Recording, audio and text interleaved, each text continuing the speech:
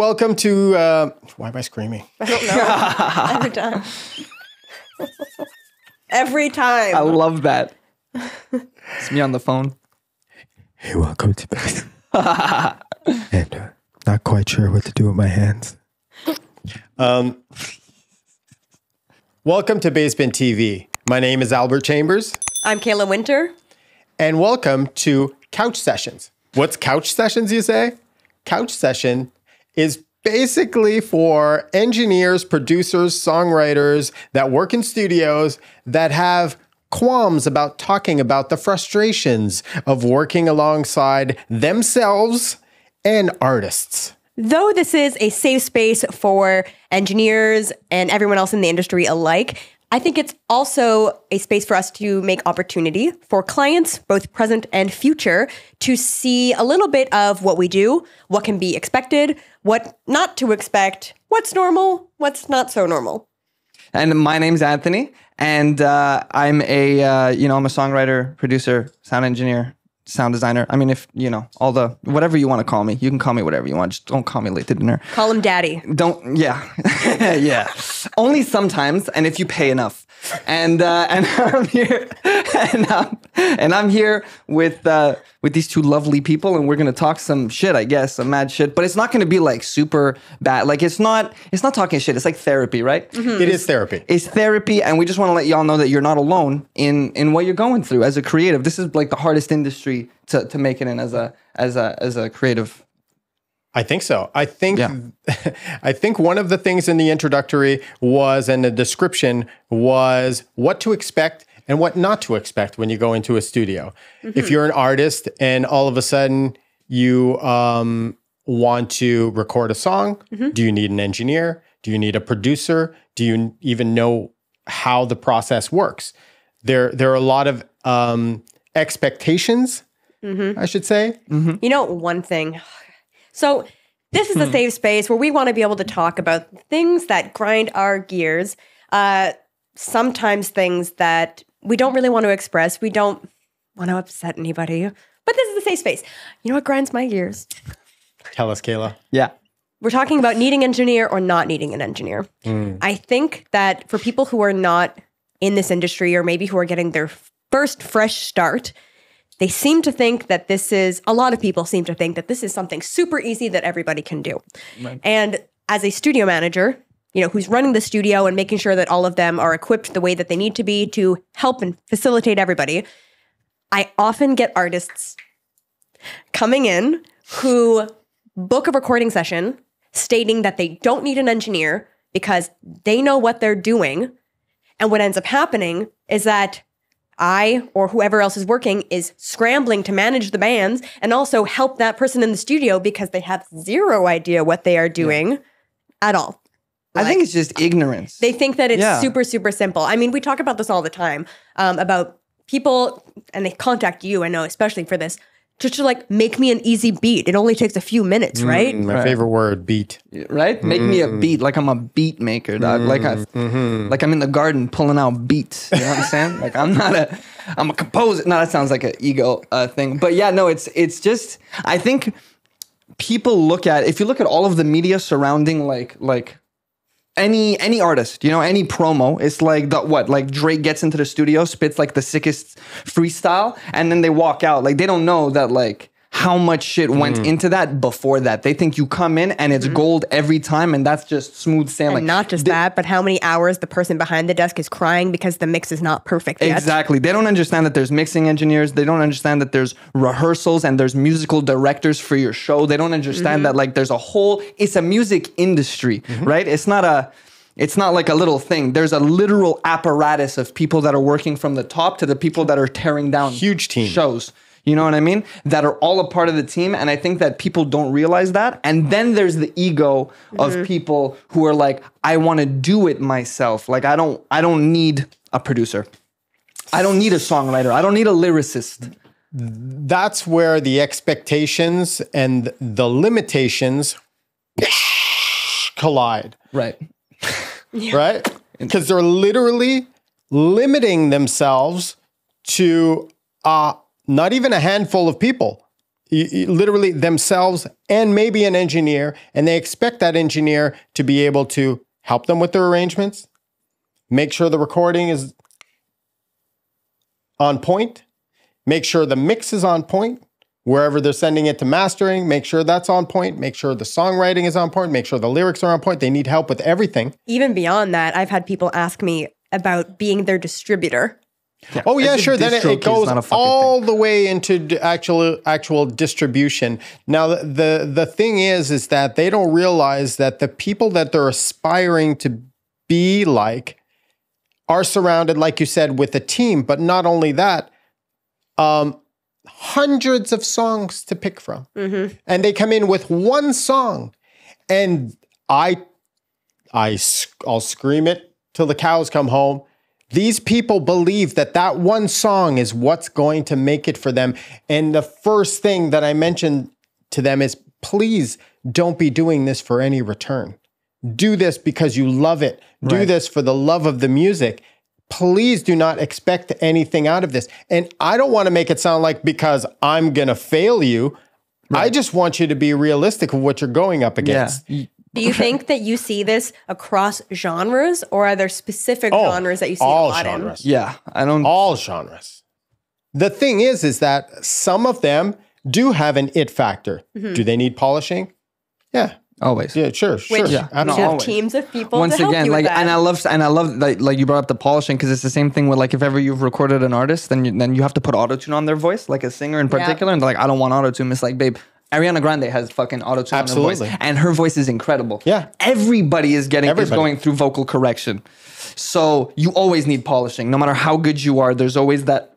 because and they always need polishing and they ask you you ask why do i need auto tune on my, on my vocal because it's become such a standard now that it's become part of the sound so part of the sound doesn't mean the effect of auto tune but being perfectly in pitch is part of the sound Yeah, if you would have listened to a, a record uh, 23 years ago, uh, 25 years ago, and you hear somebody going off a little off, you you know, Yeah.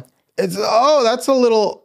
It sounds a little bizarre to somebody that's listening to contemporary music and sure. At Led Zeppelin, all of their Like, discography. there are a lot of Right? people, um, you know, maybe of like the generation, you know, before mine, before that, and they'll say that music sounds different now. It, you'll hear like, you know, music isn't the way that it used to be. Do you think that that's a contributing factor into it? Of course, it's Yeah. all part of the, The technology. The, technology has changed the way records are made, so everything's everything's changed. But the way you produce music, m- drums are s- quantized on the grid.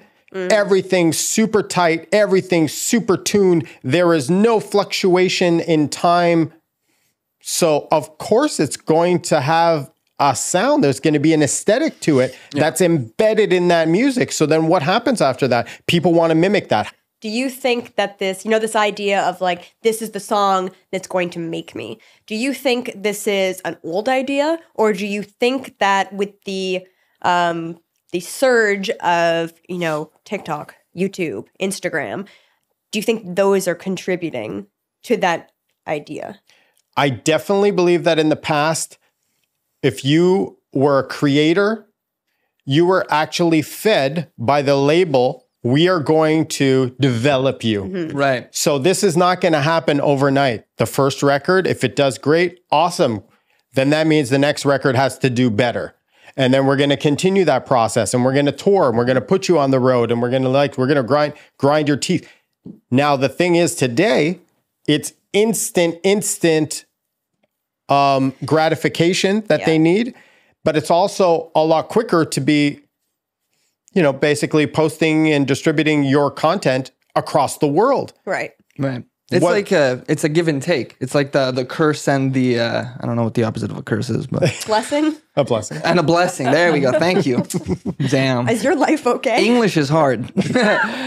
so yeah, it's a curse and a blessing of like you have all of this this the potential to to do all of this stuff Yeah. and to produce like because 30 years ago 40 years ago i wouldn't i wouldn't be able to afford to to make music you know spending $10000 to, No. to, to do an album like No. that was the entry fee so that no one was coming around fucking around in the studios you That's know right. because that's $10000 so i think the technology makes it so that people are not only able Mm-hmm. to just make stuff super easy without them understanding actually what it used to take. And also, they're looking at the lottery winners. Oh, look at this one person who like made his first song, put it online, and it blew up. Like, if you wanna, it's like, how do you want to become rich? You want to mm-hmm. start your own business, or do you want to play the lottery? Because the lottery will get you rich, but it's not guaranteed. Start your own mm-hmm. business. You know- try your, you know. I think the lottery, that's an interesting term, the lottery Analogy. winner. Um, we were speaking uh, to a few guests this week, and they were talking about, you know, the machine that is the music industry. And it seems that even if you win the lottery, sometimes it's not exactly what it seems because you might get that one single and then that gets pumped out and pumped out and then people get tired of it and then they start to also forget about you and now we're just going to sign the next person that sounds enough like you but isn't you and we'll Right. push that instead There's so much focus on likes and followers, consume consume, consume, sound bites, blah, blah, blah. Mm-hmm. I think people are thinking less about the actual real content that they're supposed to be creating, Yeah. songwriting, storytelling. Wh- wh- you know, I, I don't understand how it takes you a year to be in the studio and promoting a song that hasn't come out yet. If you want to, and this goes back to what we were saying before about expectations and people coming in and understanding, it's like if you want to take this seriously, is what you're doing. If you want to actually be an artist, then you got to treat it like an art. You know what I mean? You mm-hmm. got to treat the product like an art, and you're writing music, and you got to take it seriously because if you're not taking it seriously, at the very at the very minimum, treating it like the piece of art that it is. Sure. Put some respect on that art. Yeah, like come on, you know, put some respect on my name. So, talking about art and songwriting, question for you. When I was, you know, coming up and I was playing in bands, of course, like we wrote our, all of our own songs. And I can't imagine doing it any other way. Now, I know that nowadays, and we've spoken about this, there are teams of people who are writing for artists. When you were coming up, was that still the case? Or were artists more like directly involved in their art? Was it written by the band, by the singers, or were there also huge teams of people doing it for them? when I was coming up, there were there were no producers because nobody had the technology to have a studio within their facility. Mm-hmm. Everybody still had to go out and rent that studio that cost five hundred to thousand dollars a day. Right.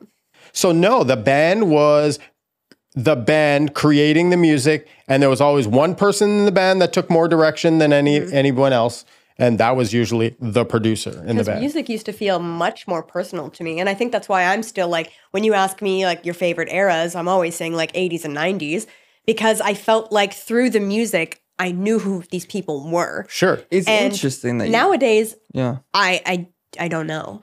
I feel like the 80s and 90s is when it started becoming productionalized Really? like that, where they started turning, especially with the hair metal bands, where they were just like fucking cranking out fucking what's the next, you know? they what were I still mean? writing that stuff. I mean, like Motley Crue was still writing right, all of their but own I stuff. think that was They like were- the seeds. Of, Yeah, but they were still writing, but they still had writer producers, mm-hmm. you know, Slowly but surely. working with the labels in conjunction with the bands. They they literally had a producer that was working on the songs and crafting the songs with the with the bands. They would go into the studios for three months, just six months, and that's where the records were were born. Right. I remember someone once told me, uh, the music industry died. Real music died. This is obviously someone who's jaded and older. Uh, the music industry died when A&Rs and record label heads stopped being musicians and started becoming shoe salesmen. tops of the industry, most of them don't know a lick about music. Right. So it's just what's going to make me the most money? How Yep. are we going to make sure that there's an ROI on this song that I made? The, the easiest way to get an ROI is to get 15 really talented people in a room. You're always going to create something that's at least a bop at the very bare minimum. Yeah. It's, it's it's literally just a money thing. Yeah. And that's the and that is the um that's the the curse and the and the thing. Because we were saying you know like all you need to do to be a producer is to have a, a laptop in your room with a preamp and a mic which has made it so that it's saturated. But there is and I'll fucking I'll fight you if you say this. Oh there's no good music nowadays. Have you been looking at the fucking Spotify's?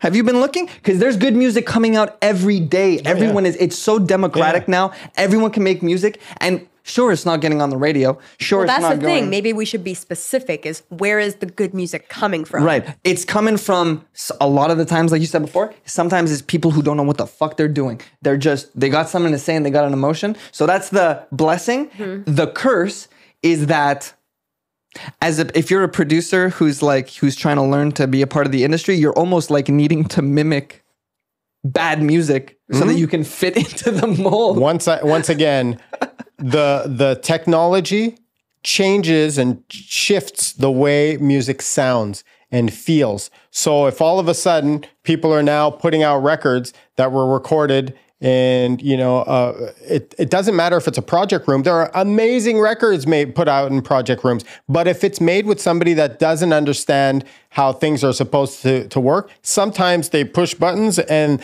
haphazard oh, that's actually a really great mistake. I don't know what I'm doing, but holy crap, does that sound good? And a lot of like guys would actually say, I don't know how they get like Fruity Loops to have their kicks like so loud. They're just- and they're pushing and it's red lighting and but they're not clipping the the converter.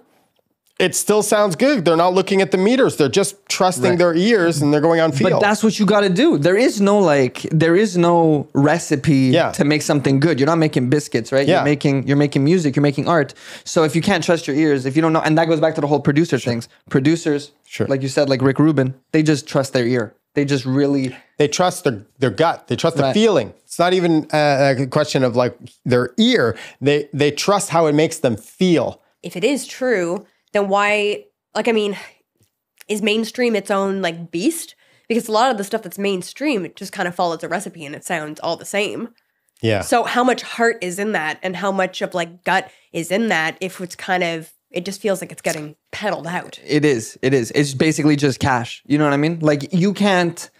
I was talking with someone the other day who's like, I'm trying to analyze how I can write like a, a pop hit. You know, very analytical. We're mm-hmm. looking through the billboard. We're looking through stuff, mm-hmm. and and we're trying to figure out how we can write something good. And he's looking at, let's say, Drake, right, as a reference. I want to mm. write a song like Drake.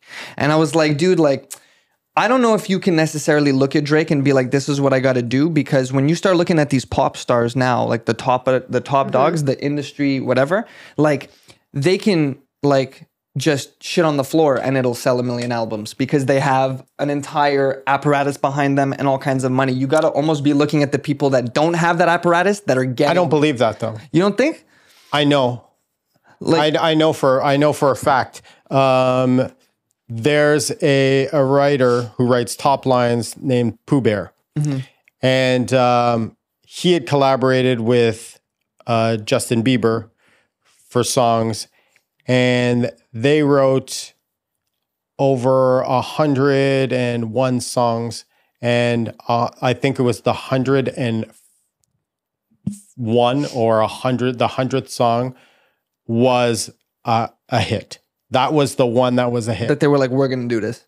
no, no, no, it wasn't. that We're going to do this. It was the only one that made The cut. the freaking cutting Right. room floor, and that was the only one that was that was a hit. They had released other things, but then none of none of those. You know, I just feel like sometimes when I hear like um, you remember that Ariana Grande album, the one that had "God is a Woman." Right. Like I'm listening Yeah. to "God is a Woman," and I'm like, this is such a beautifully written song that I'm not entirely sure if it wasn't Ariana Grande that released that, if it would have that much because it's not following the mold. There is no mold. It's just like this really beautifully orchestrated piece of art, and I'm like, I don't know if if I was a record label head that that. Somebody brought that to me that has no clout whatsoever. That I would be like, yeah, that's the one. I understand what you mean because there's a there's a part of the music industry where people actually let you hear something, and because of the ability to be able to record now on your own in project rooms, and people actually really learning the, the techniques of how to mix records, things are just sounding amazing. But is there a song there? So that's the hard part. Is first clicking, hearing the production value and saying, wow, this sounds freaking awesome. But then trying to pay attention, what's the story? Is it moving me? Are the lyrics moving me? Is this actually a story about something that I can relate to? That's the difference between a song going big, big, or a song just going blip, little Right. blip. I think most people just give a shit about the blip. nowadays. They're just like attention span. they're like I just want any attention's good attention, right? Right. Any any uh any yeah any any But publicity is, that, good is that publicity. really just for the artist, or is it also a little bit for us as listeners? We just want that like dopamine hit. Well, Maybe uh, 50-50. uh, uh, you, you think 50 50? I, I, if you look at the, the top 40 billboard, or let's let's narrow it down. Top 100, uh, top, w- f- let's look at top five songs. right. What are the top five songs on Billboard? Here, let's check it out. Let's go. We're doing this. Top, no idea. top five songs. I was actually super impressed. There was this uh, there was a Spanish song that I saw the other day that was like number two. It's like uh, cor- corridos is something that's popping off right now. It's like this. Uh, We're talking about the billboard. we're talking about Yeah. the billboard. You know. Yeah, this is this is actual numbers. This is not where people are just streaming. This is where people are putting their money. That's where they're put their putting their money. So for me, B- Billboard is is the is really the place where you see ah, this is where the real data shows Right. what people like. You don't think that has something to do with just marketing power? Like yeah, like marketing. power. Like I'll give you an example. Obviously, like if- there's more marketing power to be able to push uh, That's what I'm uh, an artist. But at the end of the day, is it going to actually rise to the top if it's not a good song? You could try to push. There are, right. you know, how many labels do a six month pro- promotional deal um, to actually push the song, and they go, "We're going to push this. We're putting two million dollars for the next six months to push." And if it doesn't happen, doesn't happen. Good band, band I was in, Clive Davis, um, uh, put it on the show. Put it on actually. Uh, I think it was Kiss uh, in New York. Put it on for two weeks. They did a little push. They didn't Right, get no so- response. So I guess the Hold it. Shelved it. The thing is, if you get onto the billboard Right. in and of itself, that could just be a marketing thing. Staying there and not just dropping down and dropping off is the hard part. So should we play a game like, is this a song or is it not? is it a song or is it not? So Billboard, Hmm. top Billboard right now, uh, Vampire, Olivia Rodrigo, Nice. number one. So you don't know Olivia Rodrigo? She had that I know driver's who license she song. Is Oh, you don't know the song? No. Yeah, me neither. Uh, No, I Isn't- listened to it. I listened to the Billboard the other day because I was just going through it. So, So maybe- isn't that interesting? We have demographics Different. and different age groups. yeah, Back in the day, I knew what the number one song was. You didn't have a choice. Radio was p- pounding it down your throat. We are shoved with so much material on social media. We don't even know what the number one song in the country is. which I like. I think it's like you don't have to be at the whim of like who the. It's it's been like this is the only you know the radio. That was the only way that you could unless you're buying records and you're playing them on your vinyl at home or you're buying the tapes or you're buying the CDs like you only have to listen to the records right? Now you have not only Spotify and not only iTunes which you know fucking pay your artist more but whatever but we'll get we'll get into that another time. Um, but you have an algorithm that's curated for you. Oh by the way you like that. So that's like the once again blessing and the curse. Harder for you to pierce as a pop star. Curse. Blessing that's you have like these bands that are coming out of nowhere. And like I explained that to someone the other day where I was like oh you want to be like Justin Bieber? Why don't you just want to sell out like M Telus like 3000 seats? If you sell out 3000 seats if you could just sell out 3000 seats you could make a living Oh my playing fucking two shows a year but you want to make 50 million dollars playing stadiums like Justin Bieber Sure. play the lottery. It's like now I think with Spotify and with iTunes and hmm. the fact that the algorithm we don't give a shit about the billboard, you have way more bands that are selling out the M2. Maybe one, you know, one one show a year, but they're playing little things and they're making their living through that, which I think is really cool. And there are bands that are doing 500 seaters to 1,000 seaters cro- doing cross country tours. Exactly. And they're, they're the ones that are actually surviving off of their music. It's expensive as hell to actually go on tour and, you know, only only do, you know, 500, you know, seats, but uh, and 1,000 seats. But it's realistic to be able to, I think that's more realistic than trying to be in you could do Ariana that. Grande. Yeah. Do That's- you love music or do you love your ego? Do Yeah. you love the the being a pop star? Which go. one do you want to be? And that's why it's like you said, if you have a good song that's talking to people, write for yourself. Sure. Don't come up to me and tell me that you want to be this plastic pop star billboard fabricated thing. Mm-hmm. And not play the game like that, and not do the formulaic bullshit, and do all of that. You I know, feel what I like mean? I'm not a music lover because I I don't listen to the radio at all. I can't. Like Yeah, I, Like, I, I listen like- to Vermont Public. I feel like if love you were to name me these five songs, whatever the five are, I bet you they're the same five songs that play like on a loop at the hour, every single hour, all day long, minus like if it's like I don't know what they're called now, like Virgin Radio was like Mix 96. That's how long I haven't listened to the radio for. version. Yeah. And they I have like the that. cool like disco at like eight o'clock, you know, which is like fun. But I stopped listening because I remember I used to work and it took me like two hours to get home in the car. I used to work far and I would literally hear the same set of songs hmm? like recycle Oh, themselves. sure. Sure. And I'm like, I can't hear anything new. I can't hear anything that's not like Billboard top 10. Like, I can't hear anything else. Mm-hmm. So I can't discover anything else. I can't feel anything else. Well, that's great that now we have the ability to be able to listen to music on all kinds of different platforms, but how do you how do you sift through the noise and get to the good stuff? Is it through oh, listening to one artist and then maybe actually doing a little bit of, you know, work to search Mm-hmm. and go other people listen to such and such. Other people listen to such and such and No. clicking on it and listen. don't. I think their algorithms are pretty good with like I know in particular Spotify has like here's your mix for X, Y, Z, and sometimes it'll be a mhm. genre mix where it's like this is hip hop that you might like, mhm. and sometimes it might be an artist mix like this is uh, J Cole that you might like, mm. and it's a J Cole mix, and it's not all just J Cole, but it's people that fit in the thing. You're gonna have to do some research. Because I was gonna say, don't you feel like you get a little bit like pigeonholed though into like one kind of like genre or style? for sure. That's when you in my this is why i love doing this.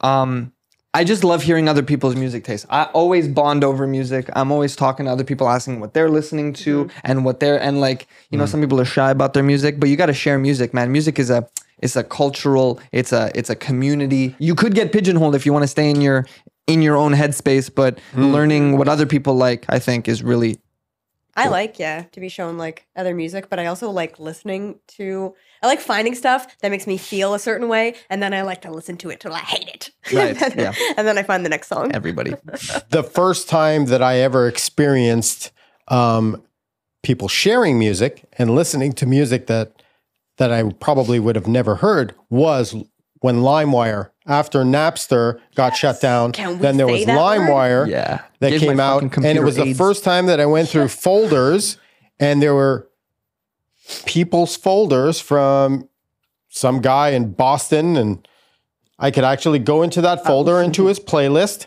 and listen to the songs that he was listening to, and I I couldn't believe the array of different genres like this person, one particular person was listening to.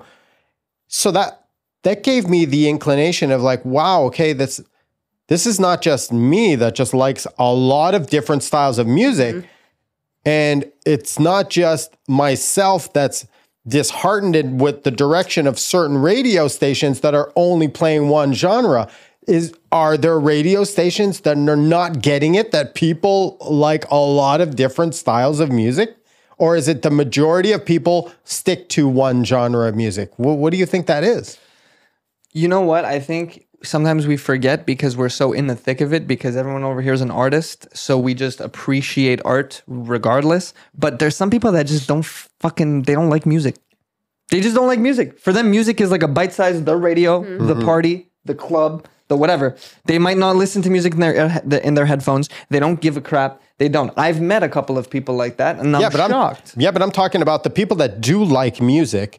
Do you think there's a more mass majority of our uh, people that are listening to radio and radio stations because of the genre of music that they're playing, or do you think there's a bigger population of people that are more uh, up to listening to streaming platforms because there's more array of variety that they can create their own playlist? Oh, Yeah, it's definitely I the go with second that one. one. Yeah, I don't think anybody listens to the radio except for the people who don't give a shit about music. The ones that are just like, this is. they're just an listening to its noise in the background. thing I know is like any of the people that I'm close with, they're on all the streaming platforms because they want to have their variety.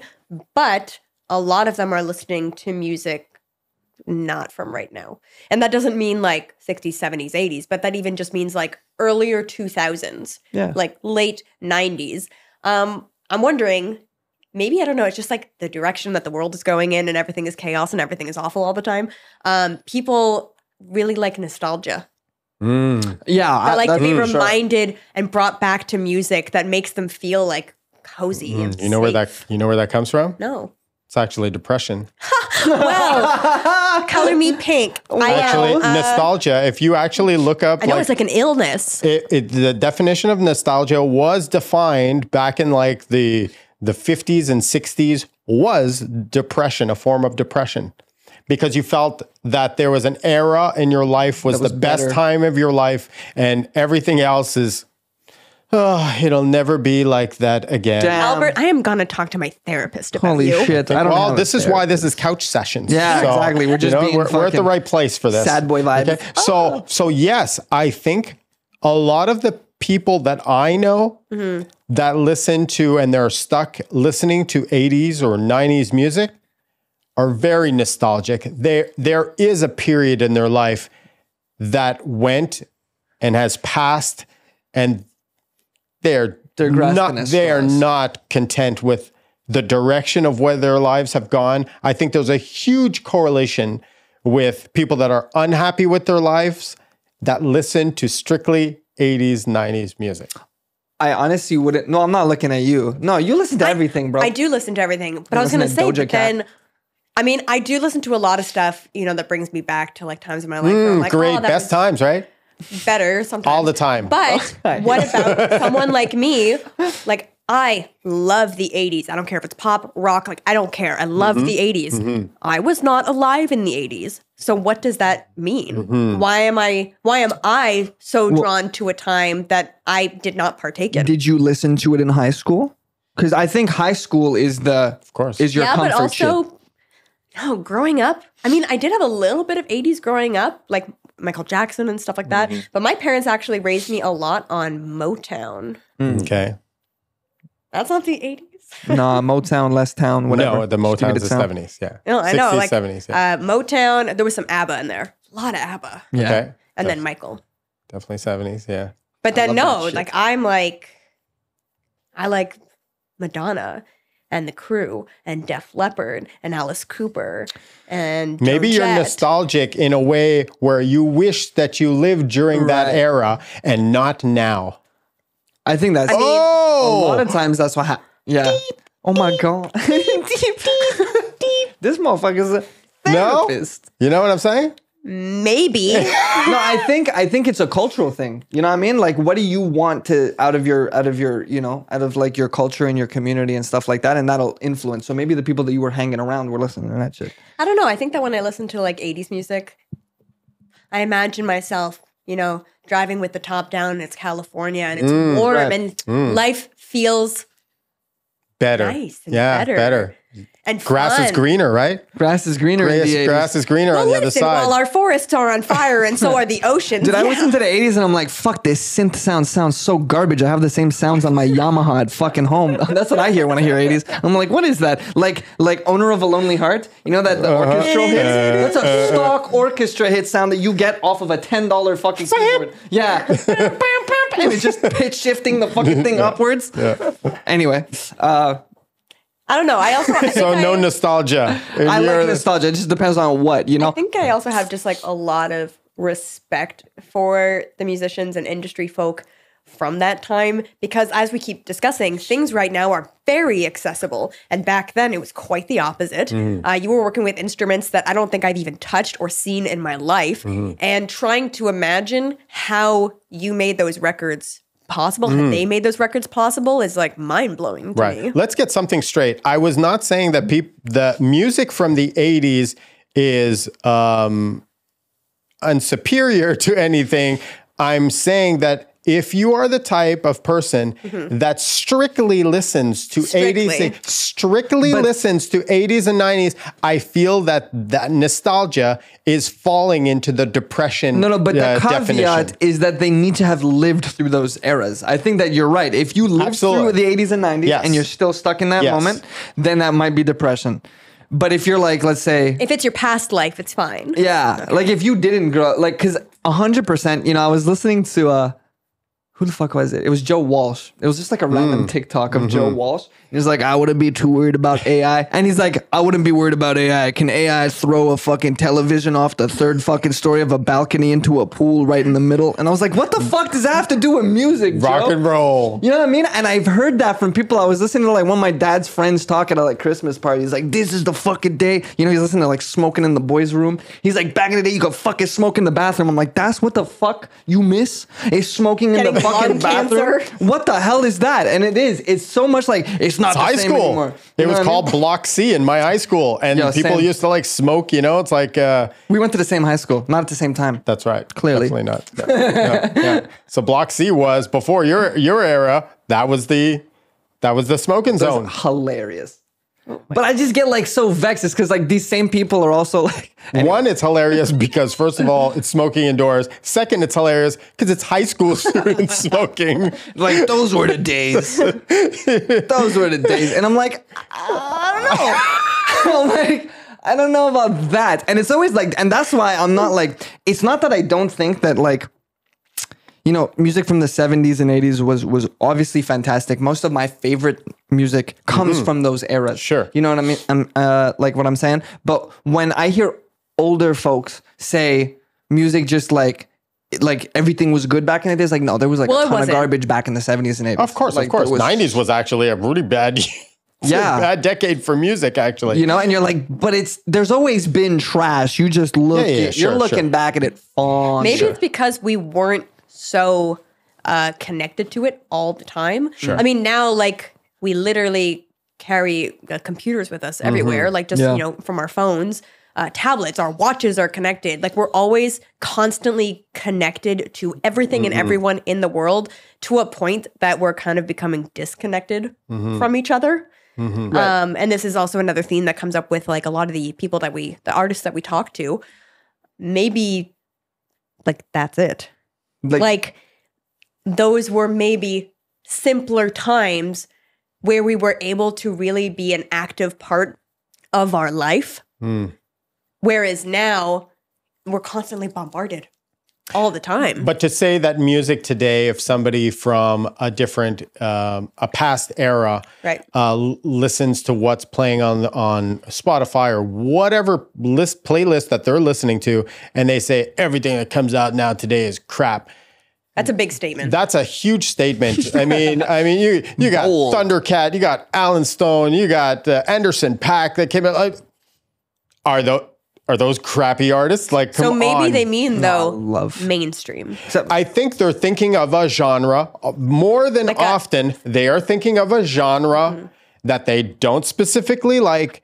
And they just put it all in one box, like Right. most people do. They do one, they see one person of one race or one religion. They put them all in a nice box to make it easy to define like, because, oh, damn because to be able to actually like go and define each one and to actually do some research on each. That's a lot of work. Yeah. Let's just throw it in a box. Yeah. Call it one thing, crap, whatever, you know, and just call it call, it a day. Call it a day. Call it even. It's done. Music Fucking- today is all crap. exactly. And you know what they're I love how you thinking? made that parallel to like racism. Like that's so true. It's it's an exact the parallel. others. It's a and it's an exact parallel Right. to uh, actually being prejudiced towards other types of music. let's say back at those simpler times uh you know 60s and 70s and 80s um The simpler let- times for who? I know, but I'm saying, um, like when metal started to become a thing, right.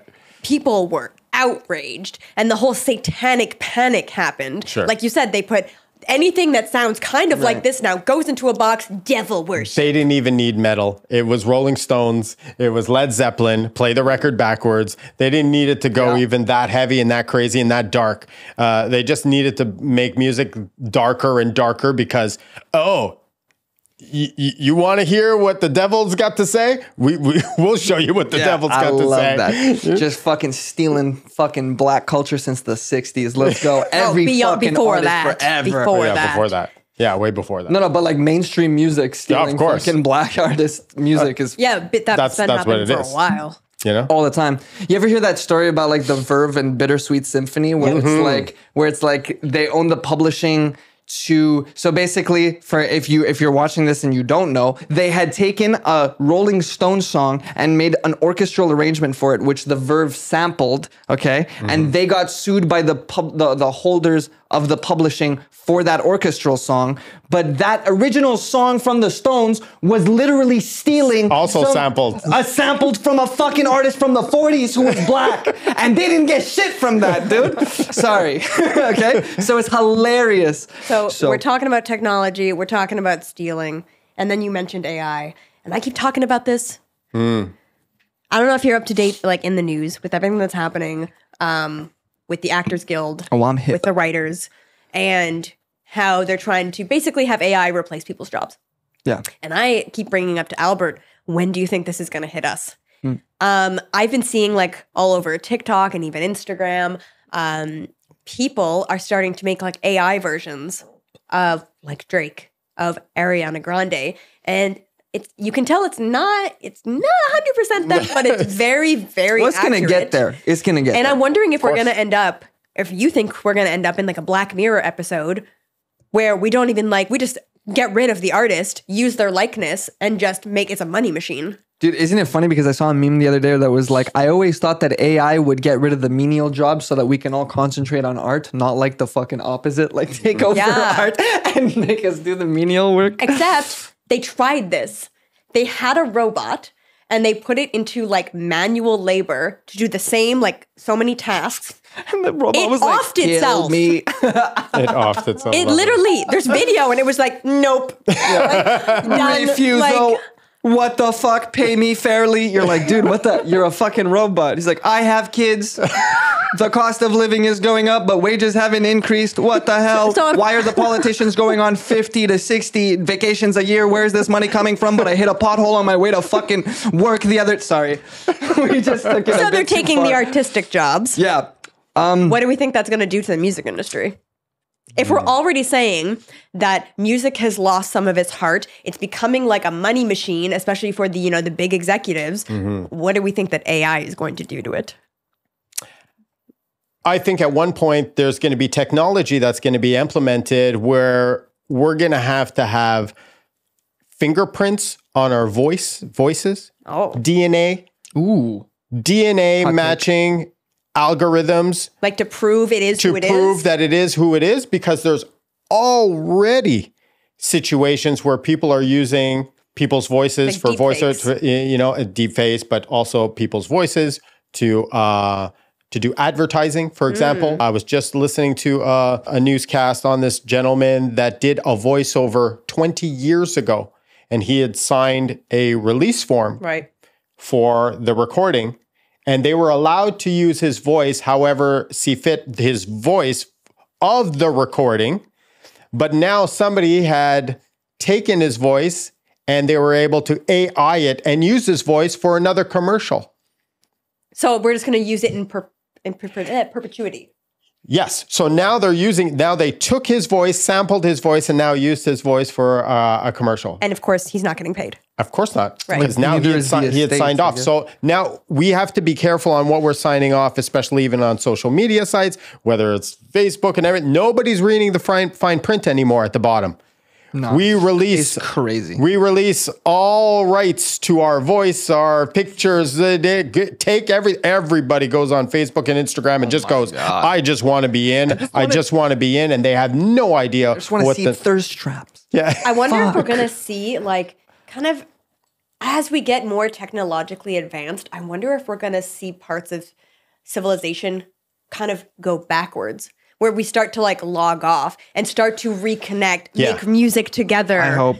it'll it'll definitely get to the point where it's in to be off. Mm.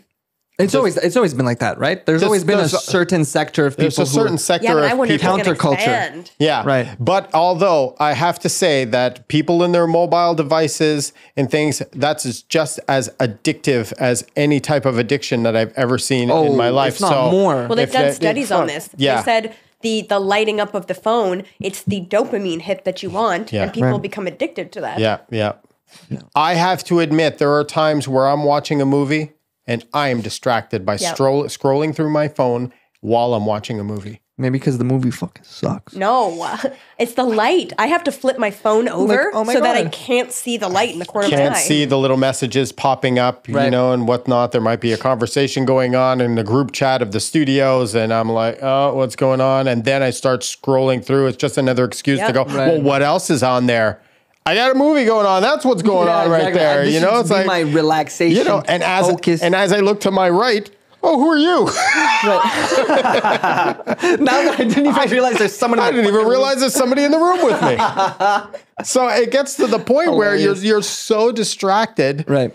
that it just it it's it there really needs to be a little bit more more focus. So so if we're talking about music and mm-hmm. trying to focus in on where we're finding music, where we're shifting towards music, and actually getting back to artists being able to narrow in on their art and having, you know, more ex- better expectations of what can come from their music and understanding that the love of the music is why you should be doing it.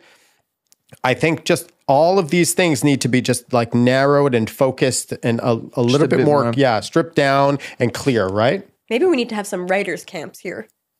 That'd be super fun. Yes. Just get together and jam and play. absolutely. reconnect. and write you know write Absolutely. music because one of the things that gets me really maybe it's just montreal maybe it's everywhere in the goddamn world i don't like the clickiness that Mm. that happens with stuff when it comes to these writers camps there's a lot of like if you know you know and if you don't you don't and it's always the Mm-hmm. same cast of people. I people was gonna say the only ones that I've heard of, it's been like industry. yeah it's always it's always not, not- super not necessarily. There's a lot of independent um, songwriters within Montreal that go to these writers camp, Yeah. uh, writers camps that that I've seen, and there's nothing wrong with them. I, I I I think that they seek out these opportunities to go out and to do them, and I think a lot of us think for some reason that they should be knocking on our door. No, no, you gotta go out there. You got to go out You there, gotta and go you got to be in there. It's like whenever I've gone to uh, a record launch or uh, yeah, CD release or friends of ours that are in town that are that are playing, um, I see the same similar people, but I have a feeling that they're out there way more than I am. yeah yeah They are. And they're out out there. schmoozing and talking, and it's the same clique of people. And we have our clique of people at the studios here. And a lot of them, it's yes, I see all of our clients, but I'm never in the thick of it because I don't go to a lot of uh, CD launches unless it's record that I've worked on or if it's friends of ours that are in town that or records that we've worked on, you know, with, wi- for for clients. But in general, it's a it's a community and it's like going to church. Everybody that goes to these events and all of these SOCAN awards and SOCAN, they're all there going to church. Because Right. that's their com- that's their that's what community. you that's what you got to do That's what you got to do. And if you want to be part of that community, well, then you got you got to go to you got no to go one's to gonna you got to go to church. no one's gonna go and lift you up and be like hey do you want to be a part of this really cool thing that we're doing I think that's what I mean. though. I Exactly. think maybe we need like, uh, what is it? Like basebin jam sesh. Yeah. You think? I think there's enough jam sessions, but I think that there's um, a good place to be able to uh, do writers camps and to do things like that where where we're actually showing them the process. And like I said, the expectations of what you're expecting to to come out with. And um, showing them all the positive sides, but also explaining to them the negative parts of the industry and the reasons why you should be doing it and the reasons why you shouldn't be doing it. Mm-hmm. For you two, I know for me, the answer is yes. When you tell people I'm a sound engineer, I'm a producer, I work in the industry, whatever it is, do people who are not in the industry look at you and think that that's glamorous? What my girlfriend thinks I do at the studio, pictures. Yeah. What Yeah. I do in the studio, yeah, picture. they always think is super dope. It's like I did, like I, I told someone I was like, yeah, I was working at F1, the Ritz Carlton. They're like, oh my god, that's so dope. Meanwhile, I'm there at fucking seven in the morning, fucking schlepping cables. Fucking the thing's gonna fall. We need to do to this. You know what I mean? Doing like all kinds of stupid. Like it wasn't fun, dude. I got two hours of sleep, but I was at, you know what I mean? Like I was working at F1 doing like blah blah blah whatever. So it's all optics. You know what I mm-hmm. mean? And it's the same thing with with music. It's like it is it is glamorous. Like it's fun. Like the studio downstairs over here at Base Bin Studios, located in Montreal on Frontenac, are like super beautiful and super like nice to be around. So it looks glamorous, but the work Isn't always. Comping vocals for four hours, crying is because not I've been fun. like editing a podcast for the last like four hours and my computer decided to like shut down. is not fun. Mm-hmm. Like it's it's a job like anything else. So you know what I mean. It's not always, and not every time that you have. That's I think we were talking about this earlier. But not every time that you get into the studio and you're doing a writing thing and you're producing for a client or you're writing a song or you're doing X Y Z. It's not always going to be great. It's not always going to be a hit. It's not you come in and it's like this wah effect that happens. We're passing around champagne and everyone's having a No, yeah, splendid exactly. That's not it. A lot of the times it's like, okay, well, we tried our best today, and you know, we opened up the shop, and nobody came through the shop. And then some days you open up the shop, and there's life, and people are buying your shit. But you got to open up the shop every day. It's just that not every day is like a a record. Not every day is a, a big party. I think the thing is, is at the end of the day, as long as you're surrounded by the things that make you happy, and you have to look around because sometimes you might be comping a vocal and you might be like tuning tuning somebody's you know track, and you might look around and go, "Huh, I'm not working at a shoe store. right. This could It's be worse. It could be could be worse. You know, so today is doing this, and today is tomorrow is probably doing you're doing something else. I think at the end of the day, you have to make you have to make choices and what you want to do with your career. And yes, if you're an artist and you're a s- singer songwriter type artist, it's gonna be it's gonna be tough. It's gonna be a tough grind, and you better be prepared to plant your feet and to take you know the hit because it's not going to be easy if that's all you want to do. I I I personally built a studio where there's so many different facets for me to be able to do what I love mm-hmm. that all that involves everything that has to do with music. So I didn't want to leave my industry. That was my number one focus. And I said, if I if I do open something, it's to be able to not have to work outside of my industry. Right. Yeah, because it's Oh. like even if I'm not singing today, I'm still doing something that pertains. Yeah, but That's that's, right. That comes from a love for music, and that's why I said before. Not everybody loves music.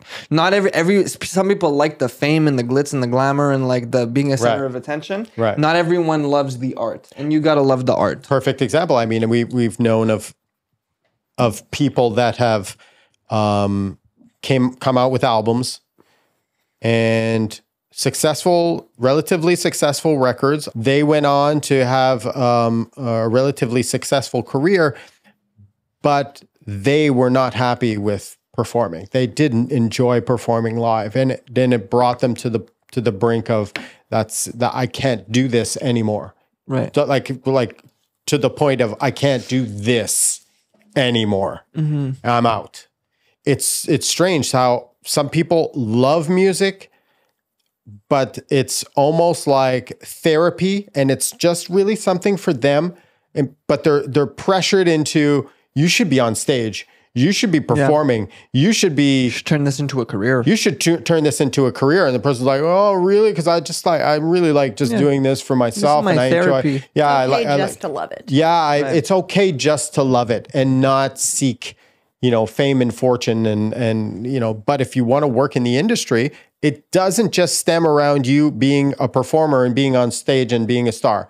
All of a sudden, if you're writing songs and you've never gotten picked up as an artist and whatnot, you're still writing songs. Keep writing songs. Write songs for other people. Why, why is there anything wrong with that? That's right. That's that's that's the thing. And a lot of people, it's because of the ego. They're like, no, if I'm not singing my songs, I don't want to do it. And then it's like, well, then maybe maybe this isn't for you. You know what I mean? Maybe Right. this industry isn't for you. Right. Maybe maybe there's like other things that you should be doing if you don't really. Isn't it? Isn't there irony though in that? And saying, no, I want to sing my songs. I want to sing my song, my songs. Well, if you want to sing your songs and it's all about you, you just go sing your songs in your room. And Yeah. Then why are you why are you forcing me to listen to it? Why are you, why are you forcing it? Yeah. Don't if you don't want to share Yeah. your art and you don't want to share what you do, then but Then then just stay at home. yeah, no one's forcing you to post it on Instagram. Positive way to tie this all up is do what you love, love what you do. Not everything has to be a career. But if it does become a career, I, yeah, like I said, just love what you do. Yeah, and if the AI overtakes over, I just want to say, kill me first.